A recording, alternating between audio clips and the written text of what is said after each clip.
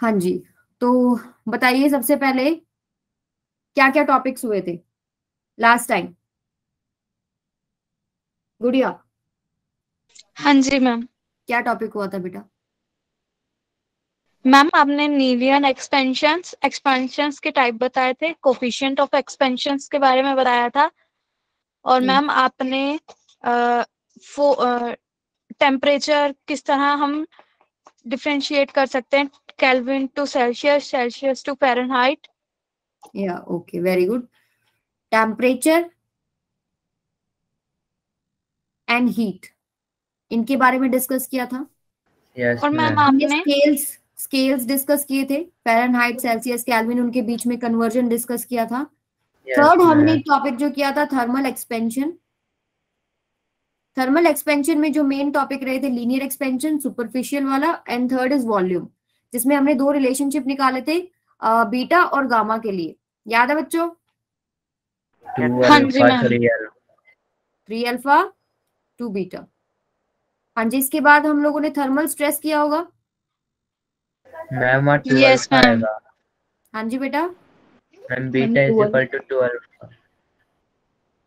Beta हाँ sorry beta equals to two alpha yes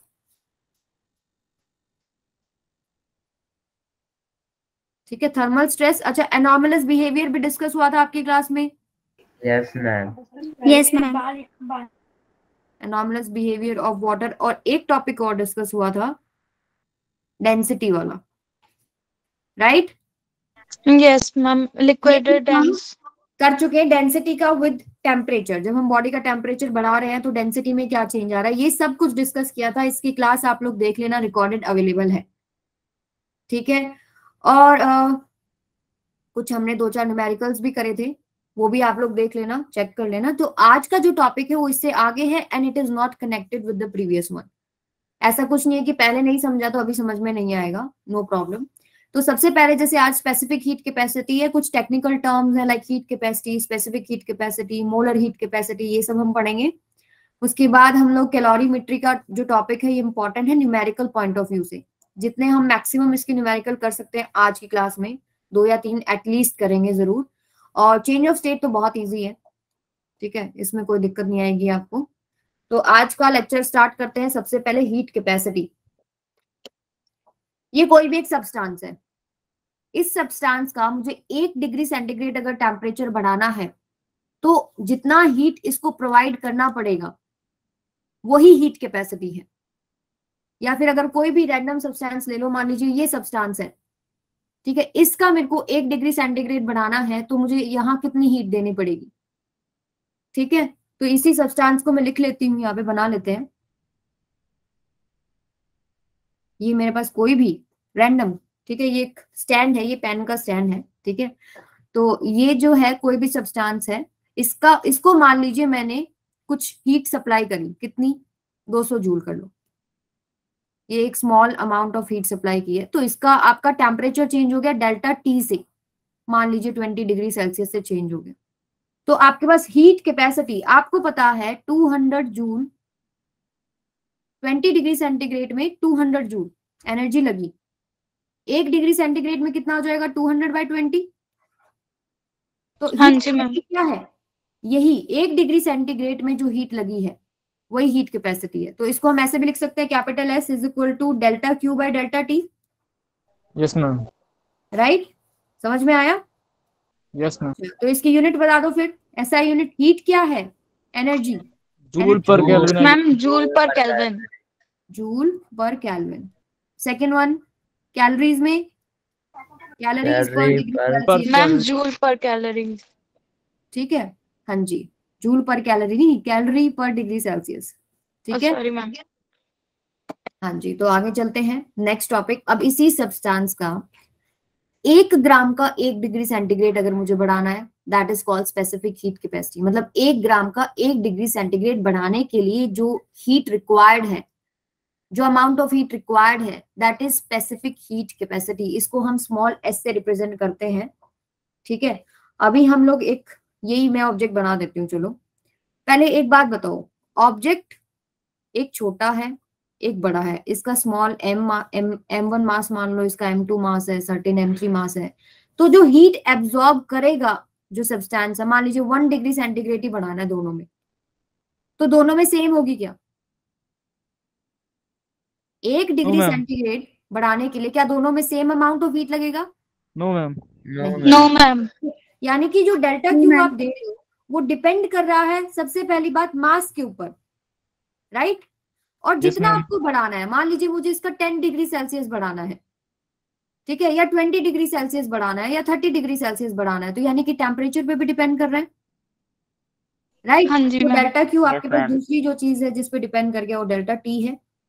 proportionality sign हम हटाते हैं एक कांस्टेंट आता है जिसको हम स्पेसिफिक हीट कैपेसिटी बोलते हैं एम डेल्टा टी। ये रिलेशनशिप काफ़ी इस्तेमाल होता है कैलोरीमेट्री में भी इस्तेमाल होगा, ठीक है? तो यहाँ पर क्या है? Specific heat nature of substance पे डिपेंड करता है।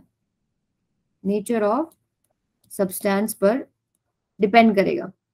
यहाँ पे लिख लो लिख लो depends on nature of substance सबका एक ग्राम का एक डिग्री सेंटीग्रेड इस ऑब्जेक्ट का, इस ऑब्जेक्ट का, सबका एक ग्राम का एक डिग्री सेंटीग्रेड बढ़ाने के लिए अलग अलग हीट लगेगा। ठीक है? नेचर के ऊपर डिपेंड करता है स्पेसिफिक हीट समझ में आ गई ये चीज़? यस मैम हाँ जी मैम अब अभी यूनिट स्पेसिफिक हीट की यूनिट निकालते हैं डेल्टा क्यू बाय में एम डेल्टा टी बताओ जरा। जूल पर के मैम जूल पर केल्विन पर मोल जूल पर के पर केल्विन केल्विन पर मोल पर केल्विन ठीक है मोल पे अभी आते हैं मोल वाली बात भी जो आप बोल रहे हो। दूसरा हम लोग इसको ऐसे भी लिख सकते हैं कैलोरीज पर ग्राम पर डिग्री सेंटीग्रेड समझ में आ गया? मैम ऊपर वो मास था। कहा? ये मास है बेटा। अच्छा मैम समझ गई। मैं वो मैंने मोल इसलिए। अच्छा अच्छा। मोल का अगला टॉपिक है। अगले पे आ जाते हैं। ठीक है? मोलर स्पेसिफिक हीट और मोलर हीट कैपेसिटी अभी एक ग्राम का एक डिग्री सेंटीग्रेड बढ़ाने के लिए जो हीट रिक्वायर्ड था वो हमने पढ़ा स्पेसिफिक हीट कैपेसिटी पर एक मोल का अगर एक डिग्री सेंटीग्रेड बढ़ाना है तो जो अमाउंट ऑफ़ हीट रिक्वायर्ड है उसको बोलते हैं मोलर स्पेसिफिक हीट ठीक है? तो हम इसको ऐसे लिख सकते हैं कैपिटल सी से रिप्रेजेंट करते हैं इसको। ठीक है? और delta Q by mu into में डेल्टा टी यानी amount of heat required per mole per kelvin right समझ में आया? तो इसकी यूनिट क्या हाँ जी मैम। जूल पर मोल मैम आप होगा जूल पर मोल पर केल्विन पर केल्विन दूसरी भी लिख सकते हो? कैलोरी पर मोल पर डिग्री पर मोल पर सेंटीग्रेड डिग्री सेंटीग्रेड ठीक है? ये आपके पास यूनिट हो जाएँगी। अच्छा दूसरी चीज़। मान लीजिए कोई भी सब्सटेंस है जिसका मास एम है इसमें नंबर ऑफ़ मोल्स कितनी है ये कैसे निकालते हैं हम लोग? म्यू नंबर ऑफ़ मोल्स है यहाँ पे. Given mass by molecular mass समझ में आ गया? यहाँ पुट कर लेते हैं चलो। या कोई नई फॉर्म निकल के आएगी क्या? M delta T capital M इधर आ जाएगा। ये कुछ जानी पहचानी चीज़ लग रही है? Yes ma'am specific heat specific Yeah. Small S into में एम तो ये एक रिलेशनशिप भी इस्तेमाल होता है। समझ में आया? मैम हाँ जी। मैम न्यू क्या हुई? क्या म्यू इज़ इक्वल टू बेटा given mass by molecular mass तो ये नंबर ऑफ़ मोल्स है। अगर मैं आपको ये ऑब्जेक्ट दे दूँ तो इसकी नंबर ऑफ़ मोल्स कैसे निकालोगे आप? जो इसका मास है डिवाइड बाय में, जो इसका मॉलिक्यूलर मास होगा, इस सब्सटेंस का मॉलिक्यूलर मास होएगा तो नंबर ऑफ़ मोल्स आ जाएँगे। ठीक है? आगे चलते हैं। Specific heat of water simply जैसे अभी आपने डिफाइन किया है। हाँ जी स्पेसिफिक हीट ऑफ़ वाटर जैसे अभी स्पेसिफिक हीट सिंपली क्या डिफाइन करी थी कि एक ग्राम का एक डिग्री सेंटीग्रेड बढ़ाना है तो जो अमाउंट ऑफ़ हीट रिक्वायर्ड है that is specific heat of substance simple आप वाटर के लिए लिख सकते हो कि एक ग्राम वाटर का एक डिग्री सेंटीग्रेड अब आपने बढ़ाना है तो कितना हीट लगेगा? वो आता कितना एक्चुअली में वैल्यू कितनी आती है? वो वन कैलोरी आती है। ठीक है यहाँ पे आपके पास इतना जो है। हीट लगेगा एक डिग्री सेंटीग्रेड और एक ग्राम ऑफ़ वाटर का टेम्परेचर बढ़ाने के लिए मतलब एक ग्राम ऑफ़ वाटर का एक डिग्री सेंटीग्रेड टेम्परेचर बढ़ाने के लिए इतना जो है लगेगा। तो स्पेसिफिक हीट ऑफ़ वाटर को ऐसे रिप्रेजेंट कर लेते हैं। दिस इज़ वन कैलोरी पर ग्राम पर डिग्री सेंटीग्रेड अच्छा जूल में लिख सकते हो आप लोग? वन कैलोरी में कितने जूल्स होते हैं? 4.2 ma'am four point four point two या four point joule per gram per degree इसको कैलविन सॉरी हाँ डिग्री सेंटीग्रेड ही कर लो कोई दिक्कत नहीं है। ठीक है केजी में बना लो। अगर मैं केजी में देखूँ तो 4200 जूल पर केजी पर डिग्री सेंटीग्रेड। Yes, हाँ. जी Yes. समझ में आ गया? अच्छा एक बात याद रखिए मैं बता देती हूँ आपको कि मैग्नीट्यूड में वन डिग्री सेंटीग्रेड के चेंज में वन कैलविन चेंज होता है। किया था आपने ये चीज़? यस मैम बताया था आपने। डिवीज़न जो हंड्रेड डिविजन है हमने पिछले लेक्चर में ये चीज़ की थी। तो कहीं पर आपको यहाँ पर डिग्री सेल्सियस की जगह कैलविन भी दिख जाए कहीं पर भी डिग्री सेल्सियस की जगह कैलविन तो उसमें कंफ्यूज नहीं होना वो हो सकता है पॉसिबिलिटी क्योंकि वन सेल्सियस का change is equal to one kelvin का चेंज ओके Yes, ma'am. ठीक है? यस मैम अच्छा दूसरी जो स्पेसिफिक हीट ऑफ़ वाटर है एनसीईआरटी में एक टेबल दे रखा है उसमें बहुत सारे सब्सटेंसेस का स्पेसिफिक हीट मेंशन किया हुआ है। तो वहाँ चेक करना जरा हीट जो स्पेसिफिक हीट ऑफ़ वाटर है वो काफ़ी हाई है। किसी भी ऑब्जेक्ट का स्पेसिफिक हीट अगर बहुत हाई होता है तो उस सब्सटेंस को गर्म होने में और ठंडा होने में टाइम लगता है। जब तक उसको अ, पर ग्राम 4.2 जूल एनर्जी नहीं मिलेगी तब तक उसका टेम्परेचर एक डिग्री सेंटीग्रेड नहीं बढ़ेगा। तो धीरे धीरे जो है वो ठंडा होएगा धीरे धीरे वो गर्म होएगा। और इसका एक जो कॉमन एग्ज़ाम्पल है जैसे आप लोगों ने मूवीज़ में देखा हो कि गाड़ी खराब हो जाती है इंजन गर्म हो गया ठीक है? और फिर वो लोग निकलते हैं कहीं जंगलों में क्या लेने के लिए? वाटर लेने। तो पानी जो है रेडिएटर्स में यूज़ होता है एज अ कूलिंग एजेंट वो कारण यही है कि उसका स्पेसिफिक हीट हाई होता है। ठीक है? वो आराम आराम से ठंडा होएगा। सॉरी आराम आराम से जो है गर्म होता है आराम आराम से ठंडा होता है। अब जैसे पानी आपने डाला मशीन गर्म है तो वो उससे हीट एक्सट्रैक्ट करेगा और उसका खुद का टेम्परेचर जो है धीरे धीरे इंक्रीज करेगा। ऐसा कोई सब्सटेंस ले लोगे जिसका स्पेसिफिक हीट लो है वो तो खुद ही इतना जल्दी गर्म हो जाएगा। Right right? तो यहाँ पर ये एज अ कूलिंग एजेंट भी इस्तेमाल होता है और जो इसका एक और एग्ज़ाम्पल है जैसे कि अ, ये मान लीजिए लैंड है और ये आपके पास ओशन है। इधर ठीक है? तो आपको पता है क्या कि वाटर जो है वो धीरे धीरे ठंडा और धीरे धीरे गर्म होगा क्योंकि उसका स्पेसिफिक हीट हाई है। लेकिन लैंड का स्पेसिफिक जो हीट है वो लो होता है। तो ये तो हो जाएगा जल्दी गर्म। और ये अभी इतना गर्म नहीं हुआ है। तो क्या होगा? इधर वाली जो एयर है वो आपके पास ऊपर राइज करेगी। यहाँ आपके पास एक प्रेशर ड्रॉप आता है जिसकी वजह से यहाँ से जो एयर है इस तरफ़ जाएगी और ये वाली जो एयर है इधर आएगी। तो जो आपको यहाँ एयर फील हो रही है वो है सी ब्रीज वो आपको थोड़ी ठंडी महसूस होती है। यही कारण है स्पेसिफिक हीट वाला। समझ में आ गया सबको? ऐसे ही लैंड ब्रीज. होती लैंड ब्रीज उनकी हो जाती है कि जब रात हो जाएगी तो लैंड जल्दी ठंडी हो जाएगी और पानी इतना जल्दी ठंडा नहीं होगा। ठीक है? अब लैंड ठंडी हो गई है और पानी के ऊपर हवा गर्म है। ठीक है? तो आपके पास क्या होगा? ये राइज करेगी ये इधर आएगी और यहाँ से एयर इस तरफ़ जाएगी। वो होगी लैंड ब्रीज आया समझ में? चले आगे? रिपीट हाँ. ओके बहुत ही आसान सा है फटाफट बता दो। Numerical 400 joule of heat are added to 0.1 kg sample of metal. Its temperature increases by 20 degrees Celsius. What is the specific heat of metal? जल्दी बहुत ही आसान सवाल है जो इस चैप्टर में क्वेश्चन अच्छे बनते हैं वो कैलोरीमीटर से अच्छे बनते हैं बेटा मतलब वहाँ जो है चीज़ें आपको थोड़ी सोचनी पड़ती है एक दो ट्विस्ट दे देते हैं उसमें हाँ जी अभी पता है अभी डी आ रहा है कितना आ रहा है? मैम डी है है? टू हंड्रेड डी आ रहा है yes very good M S delta T ठीक है डेल्टा क्यू गिवन है डेल्टा टी गिवन है मास गिवन है स्पेसिफिक हीट निकल जाएगा। राइट यस मैम ठीक है ये आप लोग कर लोगे बहुत इजी है आगे चलते हैं। यस मैम हाँ जी ये क्वेश्चन करके बताइए फिर। The quantities of heat required to raise the temperature of copper spheres of radii R one and R two through one kelvin are in the ratio तो क्वेश्चन क्या है सबसे पहले? डी क्या बोल रहे हो? मैम डी आएगा आंसर दीपक बोल रहे क्या ये? यस मैम दीपक ने सारे प्रीवियस ईयर सॉल्व कर लिए लगता है। वेरी गुड बेटा। हाँ जी देखते हैं। ये है कॉपर ये भी है कॉपर दोनों डिफरेंट कैसे हैं? दोनों का रेडियस अलग है इसका आर वन है और इसका आर टू है। All right R one R two में एक रिलेशनशिप गिवन है। और दोनों का टेम्परेचर दोनों को जो है हीट दिया गया मान लीजिए इसको डेल्टा क्यू वन और इसको डेल्टा क्यू टू ठीक है? और टेम्परेचर राइज हुआ वन कैलविन इधर वन कैलविन इधर। अच्छा बताओ delta Q one delta Q two के इक्वल होगा क्या? सब्सटेंस सेम है टेम्परेचर भी सेम है। सेम होगा? यस मैम बताओ बेटा। बी ऑप्शन है क्या? बी ऑप्शन है। क्या बोलो? D B B B B नहीं बेटा बी ऑप्शन नहीं है। पहले जो मैंने पूछा है वो बताओ एक बार। क्या दोनों में हीट दोनों जाएगा दीपक बताएगा उसका तो हो भी गया। यस मैम ये सेम सेम होगा।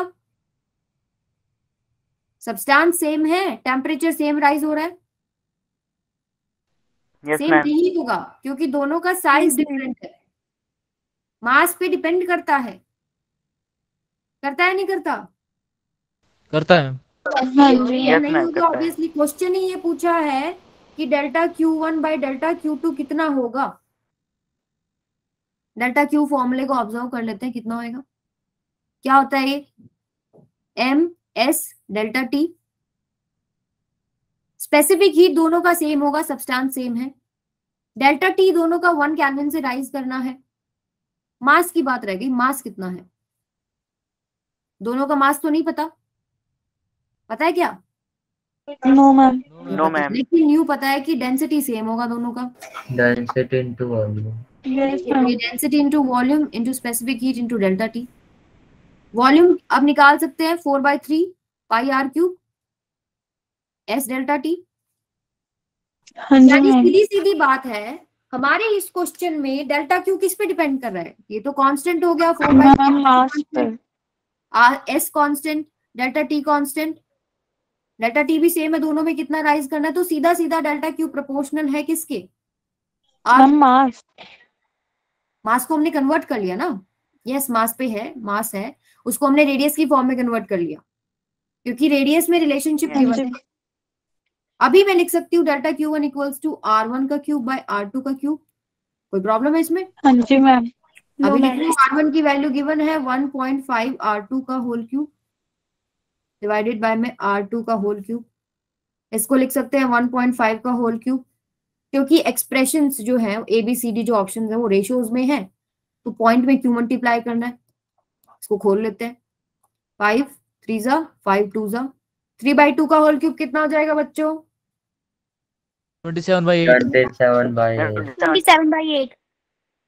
समझ में आ गया क्वेश्चन यस मैम ठीक है?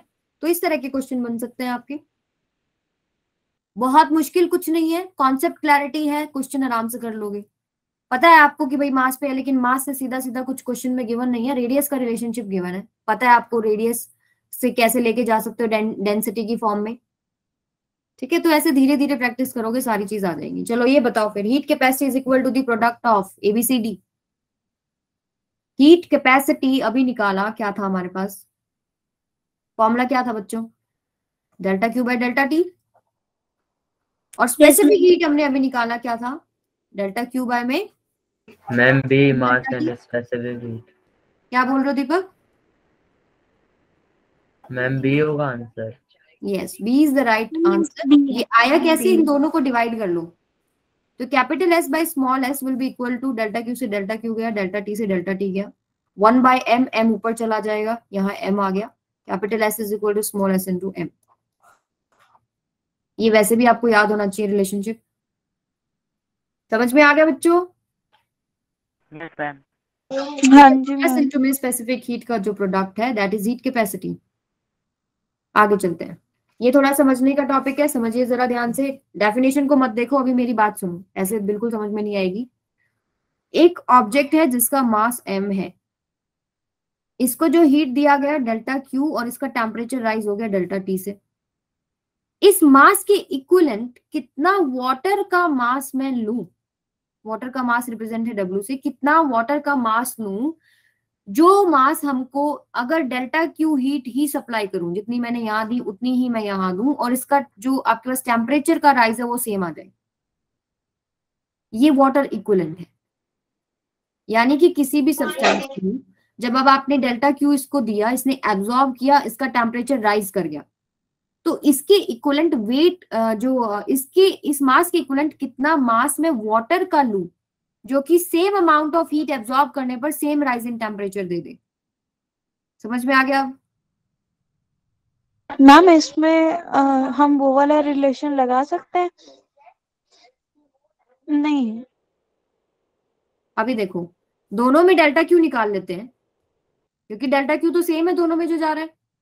तो इसका स्पेसिफिक हीट ऑब्जेक्ट का स्पेसिफिक हीट मान लो एस बी है और वाटर का स्पेसिफिक हीट एस डब्ल्यू है। तो इसका मास एम इसका स्पेसिफिक हीट इनटू में इसका टेम्परेचर का चेंज यहाँ पर डेल्टा क्यू कितना आएगा? जो इसका मास लिया है डब्ल्यू इनटू में specific heat of water into में डेल्टा टी क्या दोनों को कंपेयर कर सकती हूँ?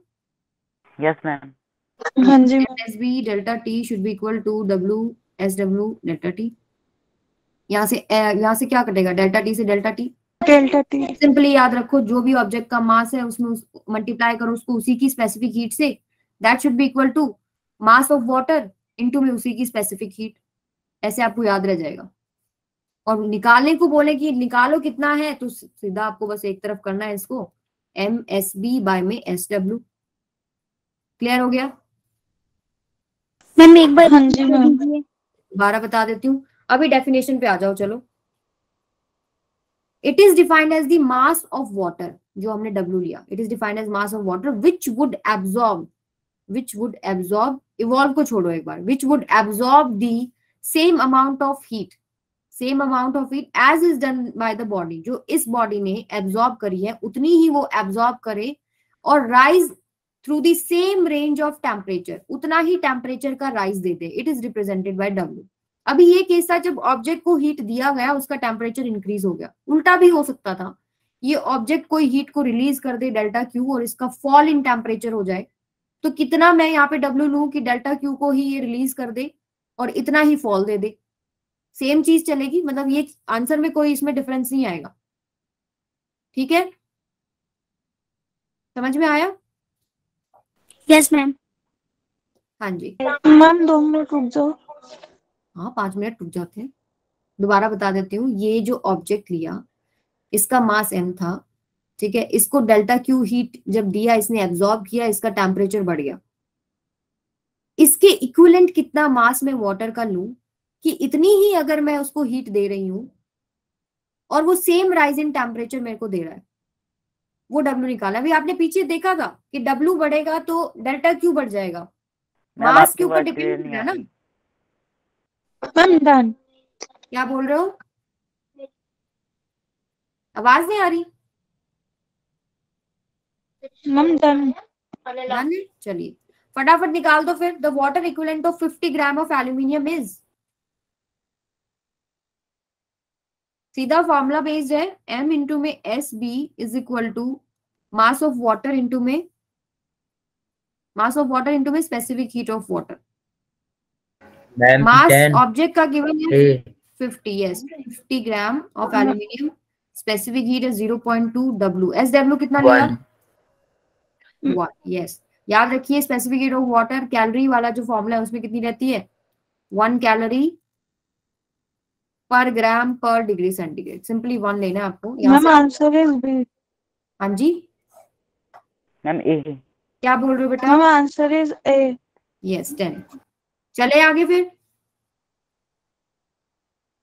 यस मैम हाँ जी। लेटेंट हीट लेटेंट हीट क्या होता है? इसको समझने के लिए देखो। इसी एक टॉपिक में मैं अगला टॉपिक भी आपको समझा दूँगी। मतलब उसमें जो कॉन्सेप्ट लगता है।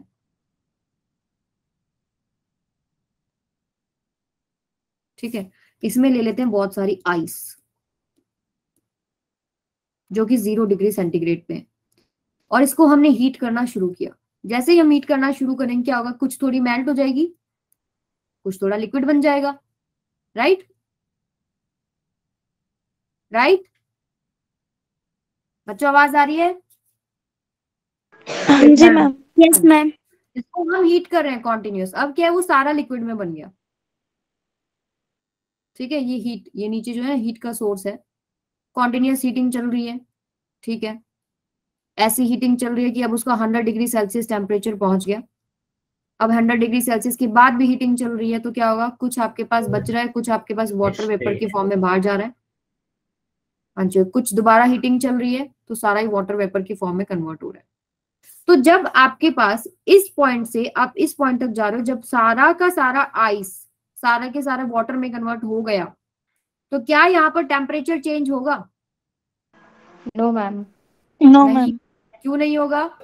मैम क्योंकि वो फ़ेज़ चेंज स्टेट चेंज हो। रही है। स्टेट चेंज हो रही है चेंज हो रही है तो एक्चुअली में कहाँ जा रही है हीट मैम ये लेटेंट हीट है transformation में जा रही है। यूज़ होती है। जो बॉन्ड्स हैं एटम मॉलिक्यूल्स के जो बॉन्ड्स हैं सॉलिड में आपको पता है स्ट्रांगली रिजिडली फिक्स्ड होते हैं वो ठीक है? स्ट्रांगली टाइटली बॉन्ड होते हैं। तो जो हीट सप्लाई करोगे उन बॉन्ड्स को वीक करने में या ब्रेक करने में इस्तेमाल हो रही है। समझ में आए? इसलिए आपको जब आप अगर थर्मोमीटर लगा के रखोगे तो आपको टेम्परेचर का कोई चेंज नहीं आएगा। लेकिन जब ये एक बार लिक्विड बन गया सारा कॉन्टिन्यूस हीट रख रहे हो, मान लीजिए टू डिग्री सेल्सियस हो गया, चल रही है हीटिंग चल रही है, ठीक है हंड्रेड तक पहुँच गया। अब हंड्रेड से आगे दोबारा जो है वो वेपर फॉर्म में कंप्लीट नहीं बन जाएगा, तब तक टेम्परेचर रहेगा कांस्टेंट क्योंकि वो स्टेट चेंज होने में इस्तेमाल हो रहा है। समझ में आ गया? क्लियर है ये चीज़? Yes, तो अभी हाँ जी, ma'am. आपके पास सॉलिड से लिक्विड जाना क्या कहलाता है? मेल्टिंग यस मैम उल्टा? फ्रीजिंग सिमिलरली यहाँ लिक्विड से वेपर्स में जा रहे हो क्या बोला मैम यस वेपराइजेशन हैंडराइटिंग समझ में आ रही है ना? थोड़ा फास्ट चल रही हूँ मैं। उल्टा क्या हो जाएगा? कंडेंसेशन कंडेंसेशन राइट तो जितना सॉलिड से लिक्विड जाने में हीट एब्जॉर्ब होगा उतना ही आपके पास रिलीज़ हो जाएगा जब लिक्विड से आप सॉलिड जाओगे? हाँ जी मैम तो ये जो हीट है बेटा जो स्टेट देखो अब डेफिनेशन पे आ जाओ. It is amount of heat absorb और release during the change of state of material चाहे आप सॉलिड से लिक्विड जा रहे हो लिक्विड से सॉलिड जा रहे हो. और इसको हम हिडन हीट भी बोलते हैं क्योंकि आपका टेम्परेचर में शो नहीं हो रहा. ठीक है, वो आपको दिखाई नहीं दे रही बट यूज़ हो रही है। अच्छा दूसरी, एक और टर्म आती है specific latent heat specific latent heat क्या है? मान लीजिए वन ग्राम ऑफ़ आइस को मैं वन ग्राम ऑफ़ वाटर में कन्वर्ट कर रही हूँ। तो जो हमारे पास यूज़ होगी हीट जो हीट एब्जॉर्ब होगी, उसको हम स्पेसिफिक हीट लेटेंट हीट बोलते हैं, इसको रिप्रेजेंट करेंगे एल एफ़ चाहे आइस से वाटर में जाओ या वाटर से आइस में जाओ, दोनों में मोस्टली बुक्स में एल एफ़ की फॉर्म में रिप्रेजेंटेड है हो सकता है एल एम भी लिखा हो। उसका मतलब क्या है? फ्यू, आपके पास मेल्टिंग और एफ़ का मतलब क्या है? फ्यूजन तो कंफ्यूज नहीं होना उसमें one and the same thing है। अगर एक ग्राम ऑफ़ वेपर को मैं कन्वर्ट करूँ तो? वेपर को लिक्विड में वन ग्राम ऑफ़ लिक्विड में। या. एलवी से रिप्रेजेंटेड है। लेटेंट हीट ऑफ़ वेपराइजेशन समझ में आ गया सब बच्चों को? अभी जो ये एल है ये दे रहा है मुझे एक ग्राम सब्सटेंस यानी एक ग्राम आइस एक ग्राम वाटर में बना तो जो हीट एब्जॉर्ब किया उसने।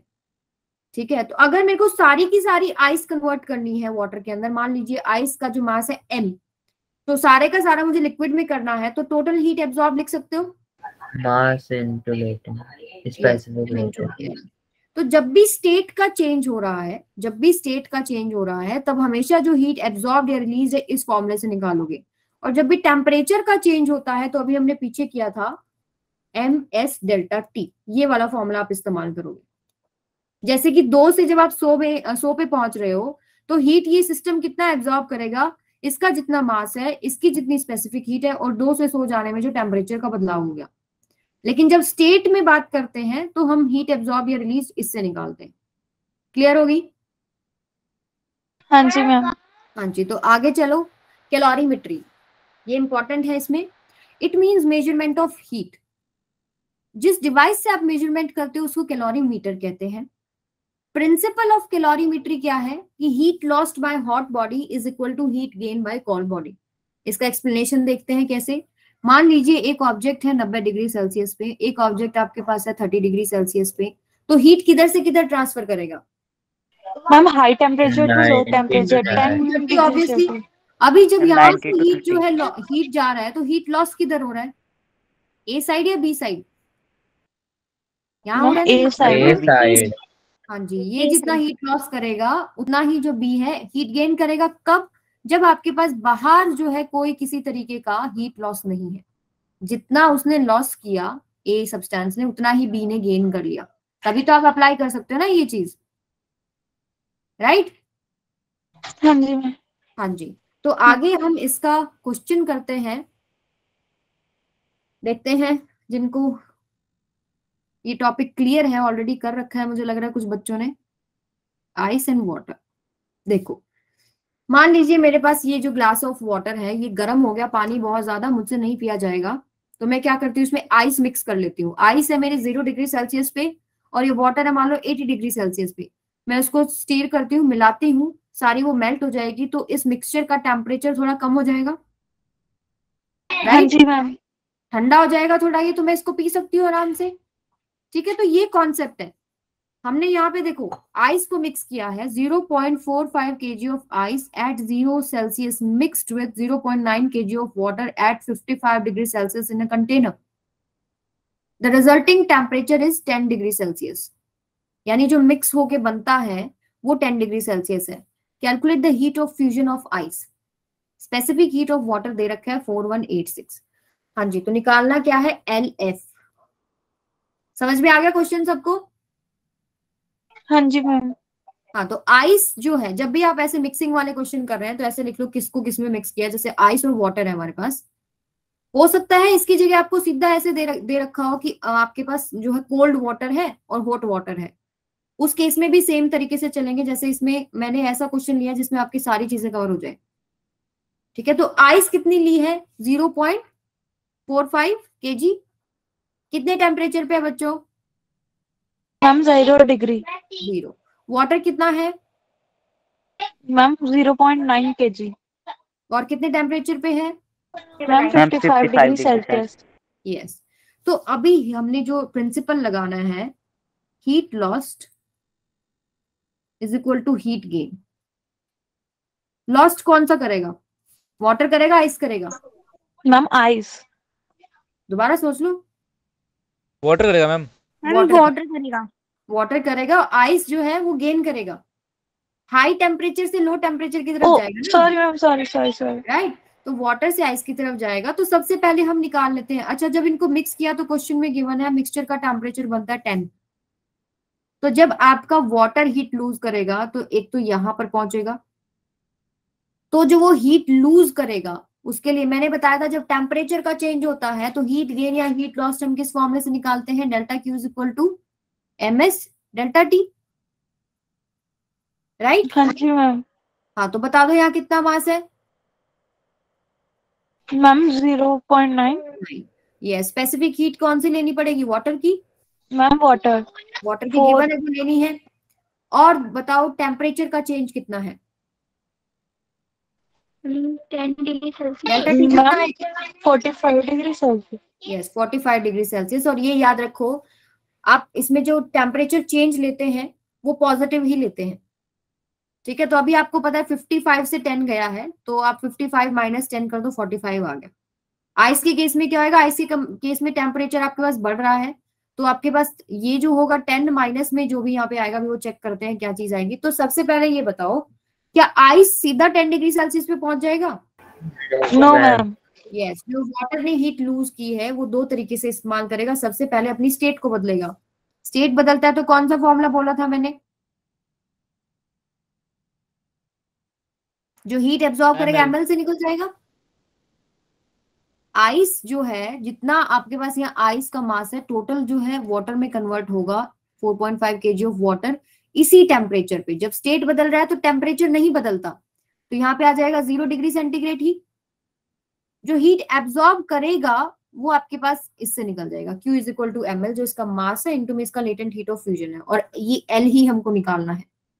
यहाँ तक क्लियर है सबको? हाँ जी, गुड़िया? यस मैम क्लियर है। वो मैम लेटेंट हीट लेकिन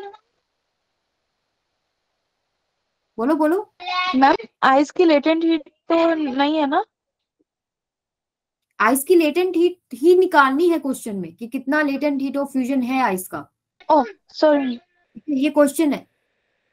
ठीक है एल को एल ही रखना है। अभी देखो जब आपके पास जो वाटर ने लूज किया जितना भी टोटल लूज किया उसका एक हिस्सा इस्तेमाल हो गया आइस का कन्वर्जन में इन लिक्विड स्टेट वो हमने निकाला किससे? एम एल फॉर्मूले से। जितना आइस था सारा का सारा वाटर में बन गया। 0.45 केजी ऑफ़ आइस और जब स्टेट चेंज हो रहा तो टेम्परेचर का चेंज नहीं होता ज़ीरो डिग्री सेल्सियस पे ही वो रहेगा। अभी यहाँ से जो है मिक्सचर के टेम्परेचर पे चलेंगे। और जब टेम्परेचर चेंज हो रहा है तो कौन कौन सा फॉर्मूला यूज़ करना था? Ma'am M S delta T अब ज़ीरो से दस जाना है ना। तो मास कौन सा लोगे? 0.45 K G of water temperature change कितना हो जाएगा? दस? यस मैम स्पेसिफिक हीट कौन सी लोगे? मैम आई वाटर वाली ही लेंगे। वाटर वाली। ठीक है तो अभी हमारे पास क्या एक्सप्रेशन बन गया? हीट लॉस्ट बाय वाटर कितनी थी?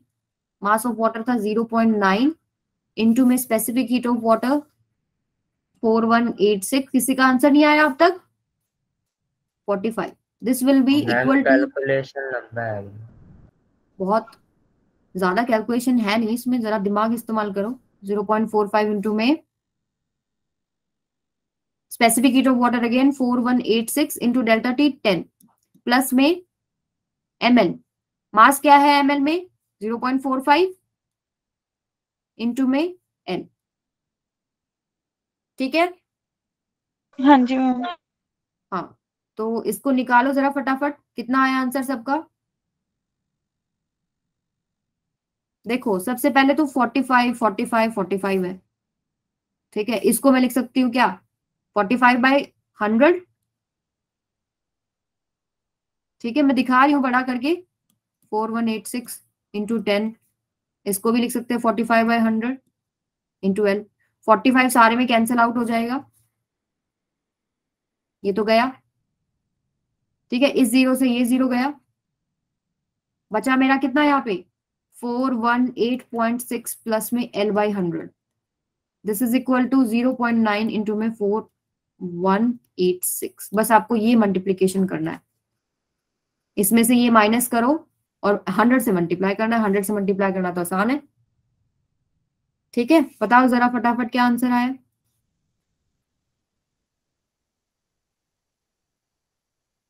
निकाल रहे हो ना सभी? हाँ जी, ma'am.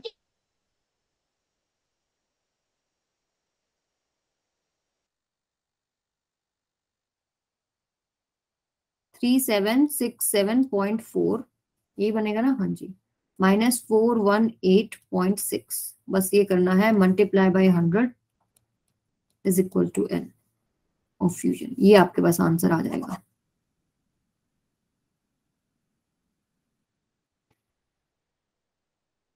Ma'am zero point zero five नहीं ये क्या निकाला आपने? हो गई होगी calculation three seven six seven point four minus four one eight point six ये बनेगा आपके पास three three four eight point eight into hundred ठीक है तो ये बन गया three three four eight eight zero समझ में आ गया? समझ में आ गया? यही आ रहा है मैम। हाँ जी मैम। मैम यही आ रहा है। ओके। चलिए नेक्स्ट क्वेश्चन करो फिर फटाफट आप लोगों को समझ में आ गया तो। अभी आप ही निकालोगे आंसर इसका। 100 gram of ice at zero Celsius is mixed with 100 gram of water at 100 degree Celsius okay ice और वाटर का ही मिक्सचर है अगेन आइस कितनी है? 100 ग्राम है। कितने पे है? ज़ीरो डिग्री सेल्सियस पे है। और मिक्स की गई है 100 ग्राम ऑफ़ वाटर पे। आ, जो टेम्परेचर है वो इसका 100 डिग्री सेल्सियस है। What will be the temperature of mixture अभी इन्होंने टेम्परेचर ऑफ़ मिक्सचर पूछा है, कितना है? मान लीजिए थीटा है। यहाँ से एक स्टेप बनेगा क्या? एम का। और एक स्टेप क्या बनेगा? Delta Q is equal to M C delta T यहाँ से एक स्टेप बनेगा क्या?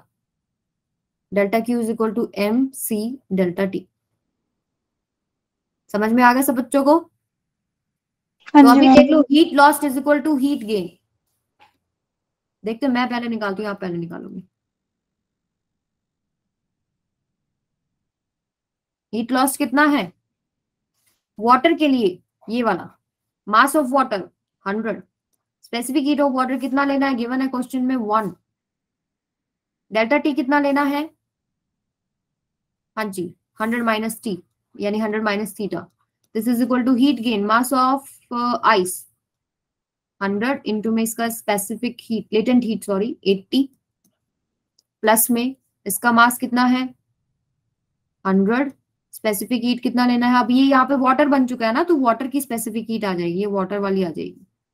तो ये वन इंटू में डेल्टा टी कितना है?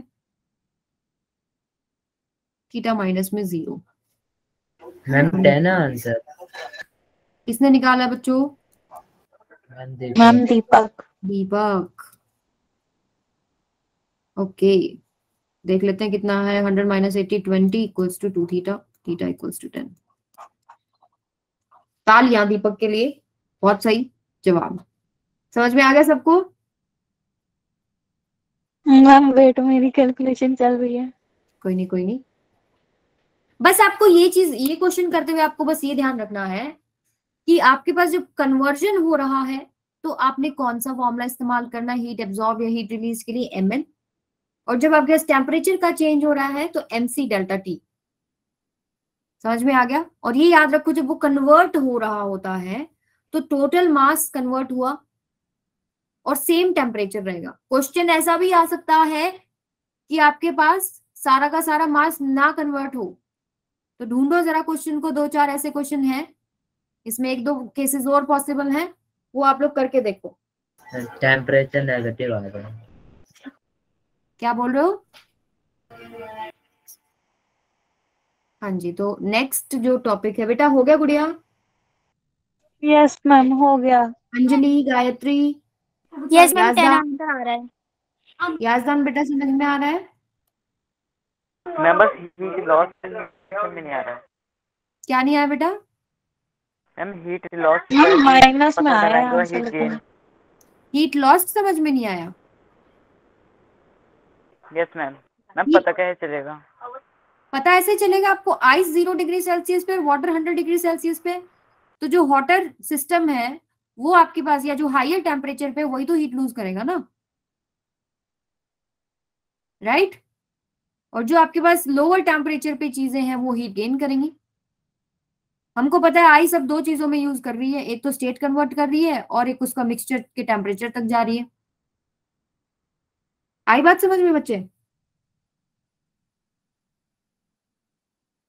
हाँ जी बेटा बोलो।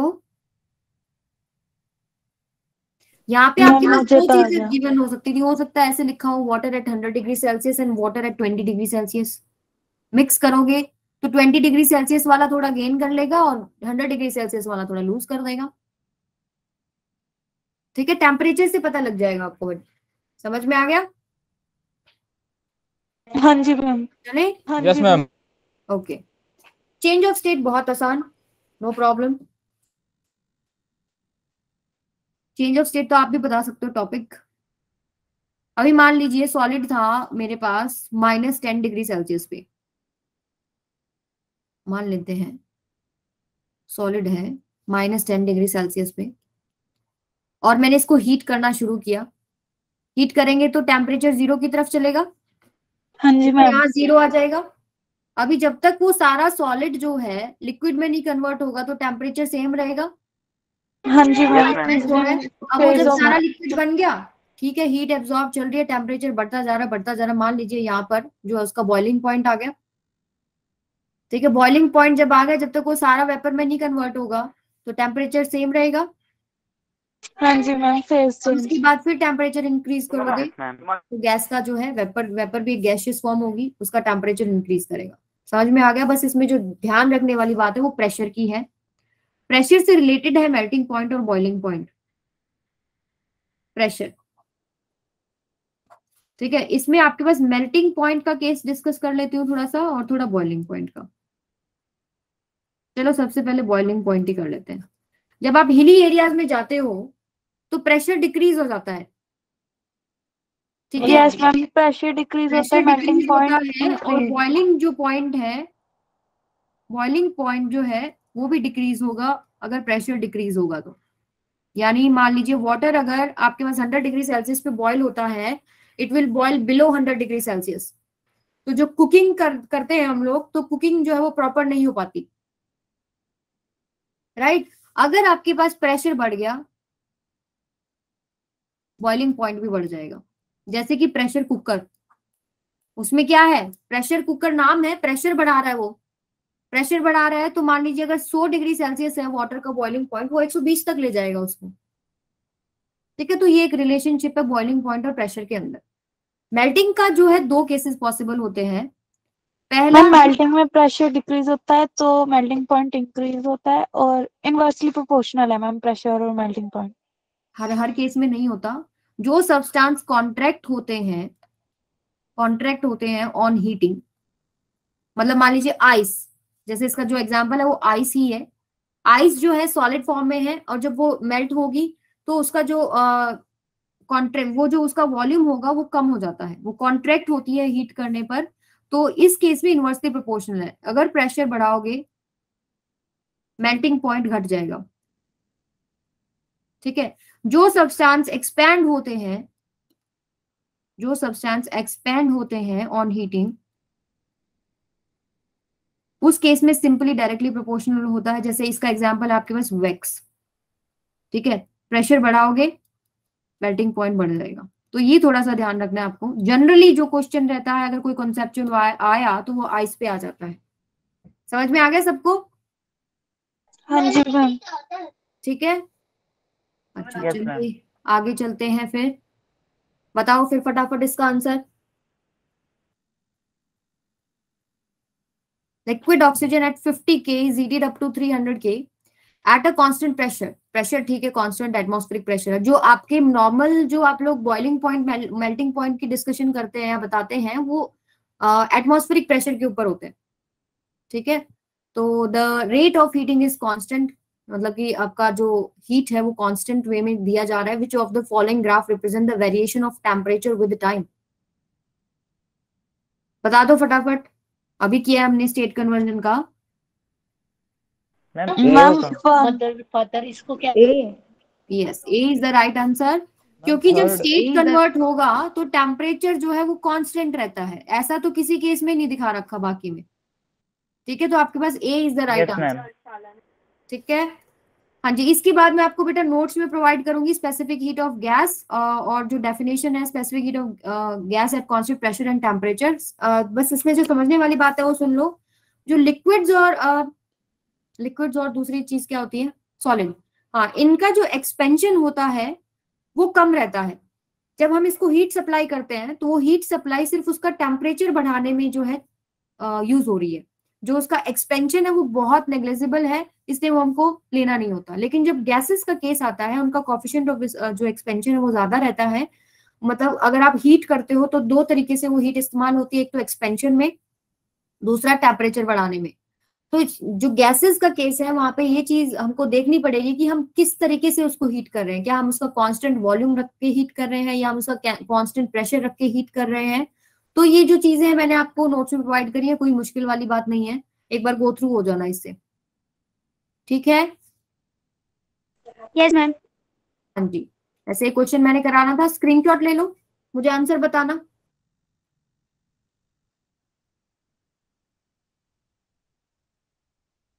Ma'am done. यस मैम ले लो करके देखना जरा। तो ये आज का लेक्चर था। सबको समझ में आ गया पहले तो ये बताओ। यस मैम ठीक है? मैम मैं एक क्वेश्चन पूछ लूँ? एक सेकंड रुको।